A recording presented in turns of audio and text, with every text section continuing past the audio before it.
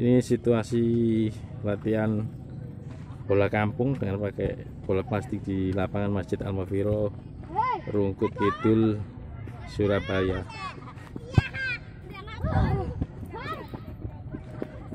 Terpilihnya Surabaya sebagai tempat final Piala Dunia U20 tahun 2021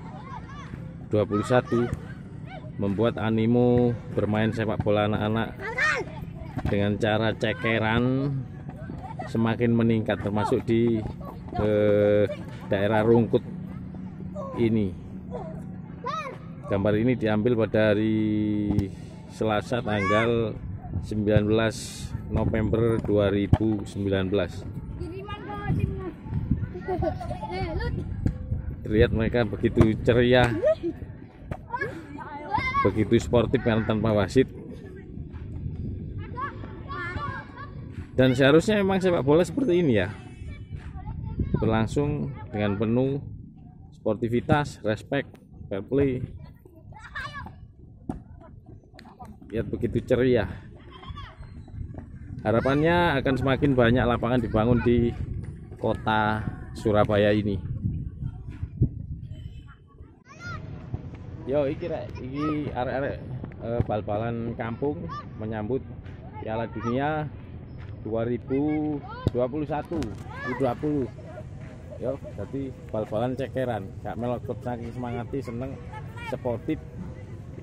Yo ya kayak gini cara arek itu ditakut iya. Oke. Ya. Oke. Nama Muhammad Wais Alkari. iya lapo kok bal-balan nyeker iki Yo, gak apa-apa. Jalan kampung. seneng ya Nggih. ya apa rasane Piala Dunia nanggone Surabaya engko ya rong tahun mana ya apa rasane Yo enak-enak tenan. ya ngomong ya apa Seneng Indonesia. Eh? Seneng. pemain timnas idola siapa Idolaku. heeh Idolaku. Timnas Supiro. Sembarang Supriyadi. Supriyadi. Ya, Supriyadi. ya. Saiki salami Surabaya ya apa? Surabaya.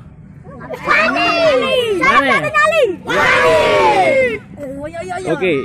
Ya, itu tadi eh, dari kegembiraan anak-anak menyambut Piala Dunia 2021 ya. Mereka melakukan sepak bola dengan penuh gembira. Harapannya anak-anak kota Surabaya akan semakin bahagia dengan eh, kesenangannya yaitu bermain sepak bola. Dari saya terima kasih. Salam olahraga. Arek Surabaya wani, wani, wani.